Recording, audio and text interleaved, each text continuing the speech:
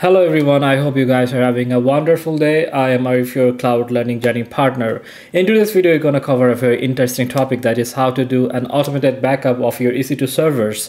Suppose you have multiple EC2 servers in your prod environment and you want to have a setup that will take care of this backup. So it will create automated backups, it will store it in a single region and you also want to replicate this backup to another region. Uh, a good question could be why we need to replicate our server backups to another region? Well, the answer is suppose uh, for some reason if the whole environment goes down in AWS, then you can always uh, go to the secondary region where you do have the backups. You can use those backups to restore your data and uh, recreate your application and uh, serve your uh, uh, clients. So for DR, disaster recovery, uh, having a that, uh, database backup and the servers backup in secondary region is very important. Well, uh, after watching today's video, you will know exactly how to do this automated backup. And the good part is once it is set up, you don't have to worry about it anymore. It will just do the work in the backend. Isn't it cool? Okay, so before starting the video, I just want to talk about myself. Well, I'm Arif. I do have more than 8 years of experience in cloud computing. I hold multiple certification in AWS, Azure, Google Cloud, and beside that, I also hold CISSP and CCSP certification. Well, this channel is all about cloud computing, cybersecurity, and uh, uh, IT career related advice. And if you are interested in this field, this channel is definitely for you. I'm planning to upload uh, tons of videos related to these topics. So please like and subscribe to my channel so you can see my upcoming videos. So without further delay, let's get started. I have already logged into my personal AWS account and from the search menu I'll look for EC2. So this is the EC2 console and uh, at first what I'll do I'll just create an EC2 server real quick and after that we'll set up the automated backup procedure. Well, uh, in my previous videos, I explained in details like how to create the EC2 server. So if you are new to this channel and you are uh, interested to learn more about EC2 servers, uh, then please uh, uh, look uh, for that particular video. I'm going to add the video link under my video description and you can get it from there. So at the very first, I'm going to click launch instance in here and I'll call it test server and the instance type. So uh, I'm gonna just go with the T2 micro because T2 micro is under the AWS free tier and as is just only for tutorial so I just want to keep uh, the free version. So after that I need to select a key pair for my EC2 server and I'm gonna choose this test key and then the network settings I'll go with a default config uh, for now. And for the security group i will keep it open because uh, after this video i'm gonna just delete it anyway. So uh, for that i'm just uh, allowing all ssh access from anywhere. So whenever we uh, specify 0 dot 0 dot 0 dot 0 slash 0 that means we are allowing to ssh into our ec2 servers from any ip address from anywhere in this world. So it's uh, risky a little bit but this is for more of a tutorial. So that's why i just keep it uh, open. And after this video i'm just gonna delete that.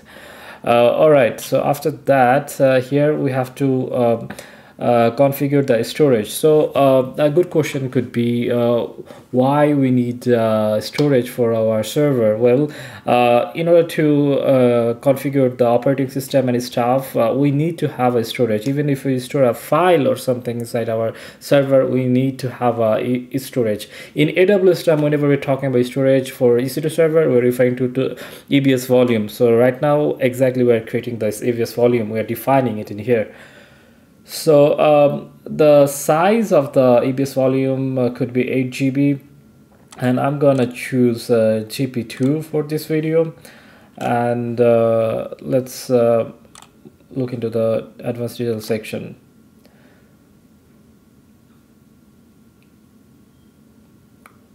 So uh, here's some advanced details and uh, we're gonna go with the default setting for this video and after this now the summary is we are creating one EC2 server and the image that we're uh, using that is uh, Linux. Because uh, if we see by default always uh, we are choosing this AWS Linux uh, image. And the server type is T2 micro which is under the free tier and we uh, defined uh, one EBS volume with 8 GB so everything looks good for my side and now I'm gonna just hit click uh, launch instance. All right in the backend the server is being created. It takes uh, at least uh, three to five minutes. So if I go in here under the instances right now we can see it's under in pending state.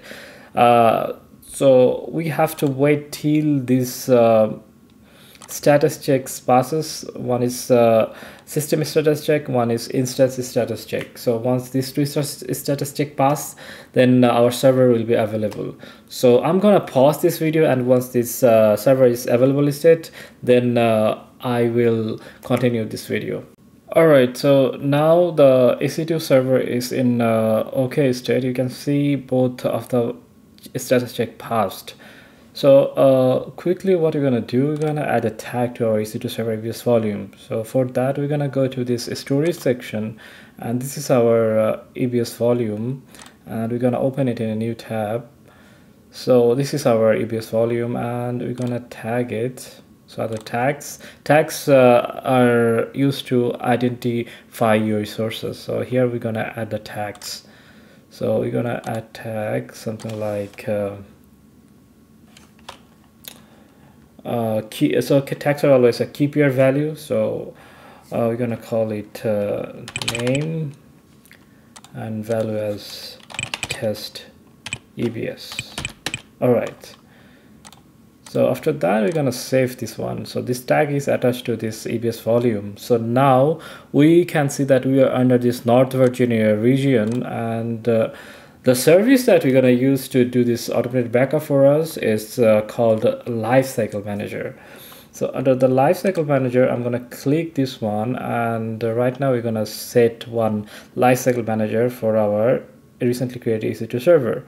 So uh, here, there are a few options. One is EBS snapshot snapshot policy, another is EBS backed AMI policy, and there is cross account copy event policy. Uh, well, uh, we're gonna go with this EBS snapshot policy.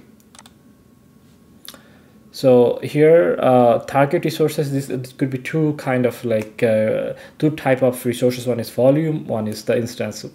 Uh, earlier in this video, we created uh, a tag for our EBS volume and attached to that. So that's why we're going to use the volume one. So let's go with the volume and the target resources. Uh, we're going to tag it like name and the value is test EBS.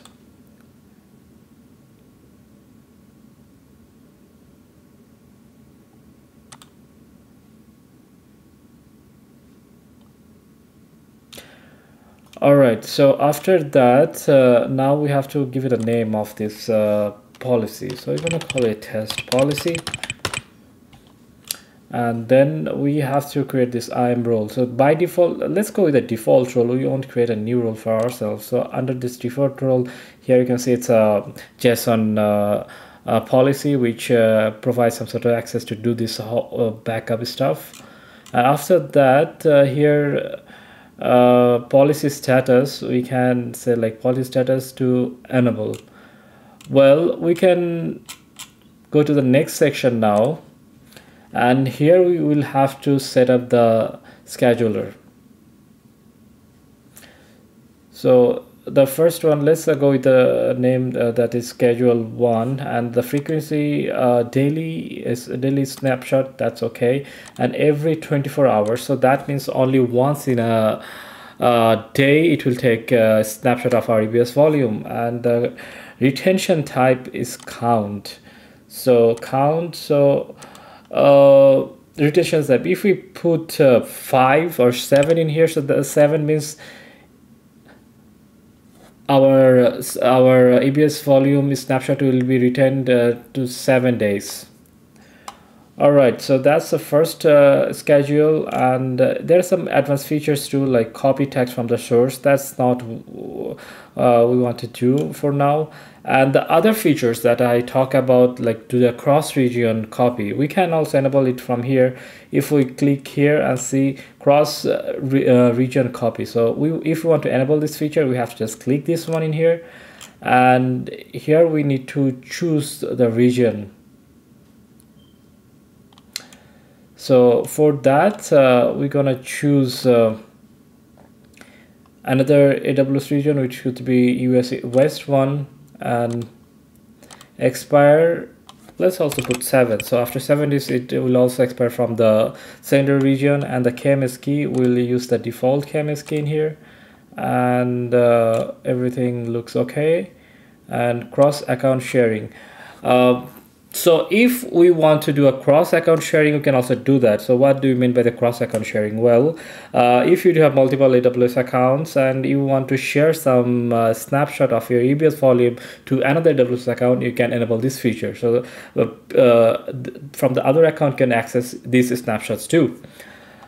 So after that i'm gonna just review the policy. So the review policy here all the disk uh, all the settings that we have defined earlier we can see all of it in here and after that uh, we can just hit this click policy. So here one important thing to uh, notice that is the retention in standard here is seven most recent snapshots. So that means we'll have our server backup till seven days. After that the backups will be deleted automatically. And uh, this is the same thing for our uh, uh, cross region backup too. So after if I hit create policy in here now we see we do have a policy data lifecycle manager policy where uh, it is pointing to our EBS volume uh, and it will create a snapshot of our EBS volume every once in a day and it will also copy the snapshot to another region. So in this way, we don't have to worry about our EBS volume backup because everything is automated now. We can just sit and relax and uh, if it's needed, we can always restore our data from this backup. Congratulations guys for reaching this far of this video. Today we have covered a very important thing uh, in AWS EC2 that is how to do an automated backup for our EC2 servers. So it will uh, make sure that uh, your data is well protected and if you are planning to create a DR plan for your application, this backup strategy will definitely help you with uh, EC2 servers. So if you guys have any questions related to this uh, backup strategy, please let me know under this comment section and I'm gonna reply you back in a very short period of time time. Well, thank you so much guys for watching my videos. It means a lot. If you found this video helpful, please like and subscribe to my channel so that you can see my upcoming videos. If you want me to cover any specific uh, service related to AWS, Azure, Google Cloud, or any sort of questions related to IT, just let me know and uh, I'm gonna cover that for you. Uh, that's all for today. Have a great and wonderful day.